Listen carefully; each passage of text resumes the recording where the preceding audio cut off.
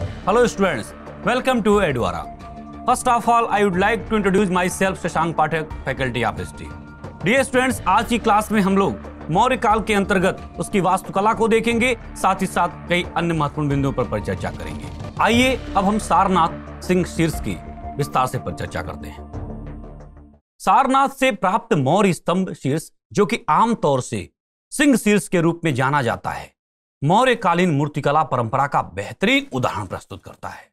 यह सारनाथ में बुद्ध द्वारा प्रथम धर्मोपदेश या धर्म चक्र प्रवर्तन की ऐतिहासिक घटना की स्मृति में अशोक द्वारा निर्मित किया गया था। शीर्ष भाग मूल रूप से पाँच घटक भागों से मिलकर बना हुआ था। आइए उन पाँच घटक भागों को यहाँ पर देखते हैं। पहला, स्तंभ एस्ट जो अब कई हिस्सों में टूट गया है। दूसरा, पूर्ण घट या अवांगमुखी कमल का आधार। तीसरा, पूर्ण घट के ऊपर गोल अंड या चौकी जिस पर चार जानवर दक्षिणावर्त दिशा में आगे बढ़ते हुए प्रतीत होते हैं। इसके साथ ही चार राशि सिंह की आकृतियाँ जो एक दूसरे से पीठ सटाए हुए उकड़ू अवस्था में बैठे हुए हैं।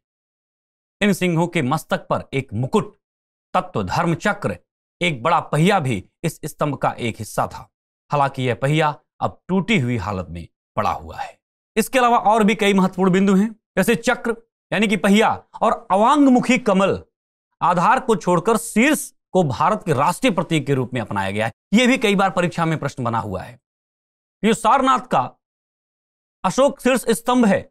उसमें से किस भाग को छोड़ करके शेष को राष्ट्रीय चिन्ह के रूप में अपनाया गया है, राष्ट्रीय प्रतीक के रूप में अपनाया गया है? तो चक्र, यानी कि पहिया और अवांगमुखी कमल के जो आधार को छोड़ करके शेष को भारत के राष्ट्रीय प्रतीक के रूप में अपनाया गया। मूर्तियों की सतह पर चमकदार पॉलिश है, जो मौर्य कला की महत्वपूर्ण विशेषता है।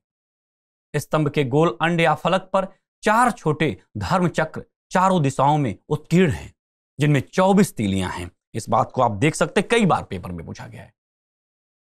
कि कितनी तीलियाँ हैं? 24 तीलियाँ हैं। इसके साथ ही साथ एक बैल, एक घोड़ा, एक हाथी और एक शेर की आकृति प्रत्येक चक्र के बीच में बारीकी से उत्कीर्ण है। आप देखेंगे, एक बैल, एक घोड़ा, एक हाथी और एक शेर। कई बार पूछा जाता है, प्रत्येक चक्र के बीच में बारीकी से उत्कीर्ण है। चक्र का अंकन संपूर्ण बौद्ध कला में धर्म चक्र के प्रदर्शन के रूप में महत्वपूर्ण हो जाता है। यहाँ पर इस इमेज में आप देख पा रहे हैं सारनाथ सिंह शीर्ष इसके साथ ही साथ लौरिया नंदनगढ़ का सिंह शीर्ष यह एकाश्म पत्थर का बना हुआ है। यह पूरा का पूरा एक ही पत्थर है। एक ही पत्थर पर बना हुआ है।